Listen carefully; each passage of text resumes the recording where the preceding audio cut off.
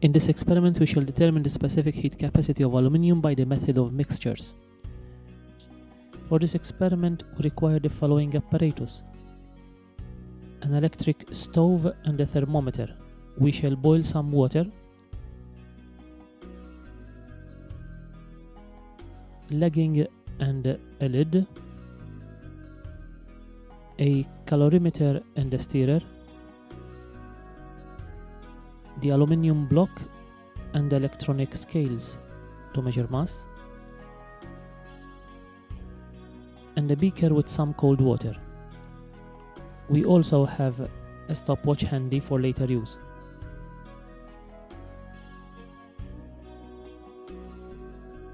We start measuring the mass of the aluminium sample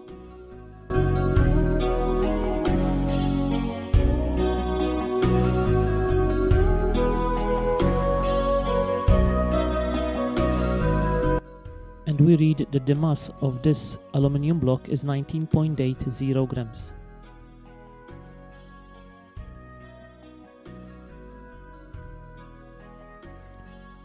We now find the mass of the empty calorimeter and stirrer together.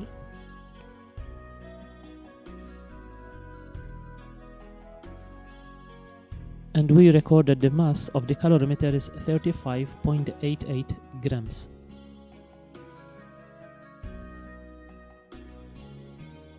We now pour some cold water into the calorimeter about 3 fourths full.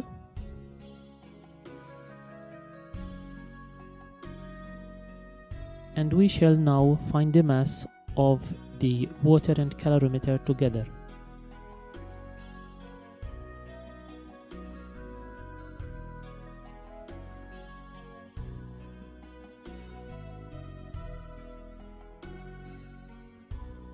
And we read that the mass of the water and calorimeter is 166.69 grams.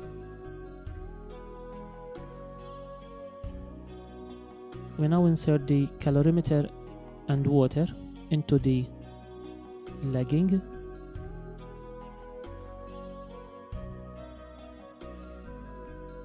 we place a thermometer into the water so that we will read the initial temperature for the experiment.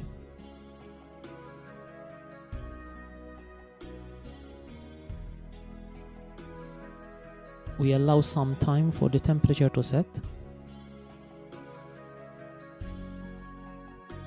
and we read that the initial temperature is 16.0 degrees Celsius.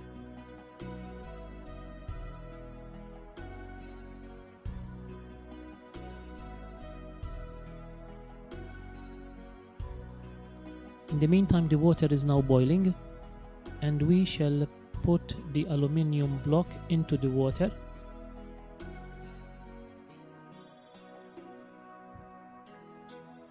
And we require to allow some time for the block to reach the temperature of 100 degrees Celsius.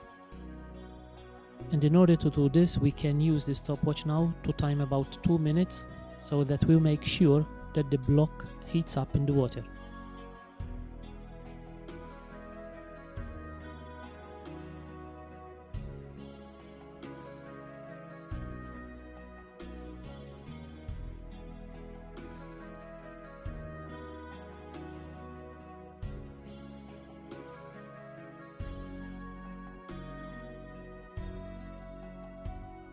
When we are ready, we shall transfer the block from the hot water into the calorimeter. We must do this as quickly as possible. We close the calorimeter using the lid.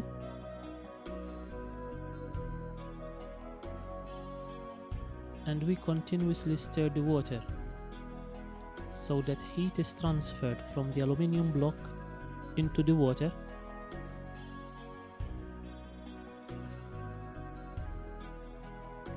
and therefore we know that the temperature of the water starts to rise.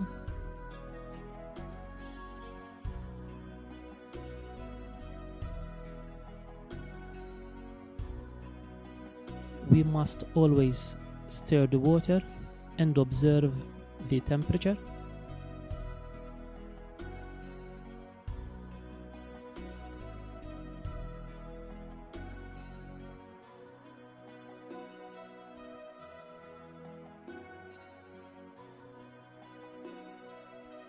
and we shall go for the maximum temperature reached in this process.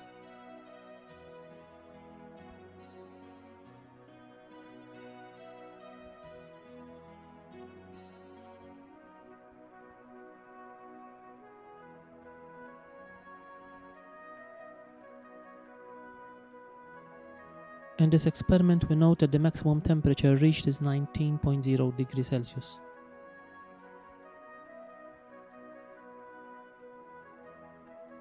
We shall record the data in a table. But we also repeat the experiment for two more times to obtain three columns of data.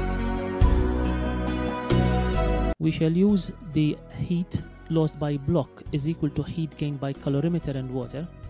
And because the calorimeter is also made up of aluminium then we insert all the data and we will get three values for the specific heat capacity of aluminium we will then find the average value which happens to be 985 joule per kilogram per, per kelvin we also work out the percentage error and it happens to be 8% the presence of sources of error will make the specific heat capacity of aluminium to be greater than the true value.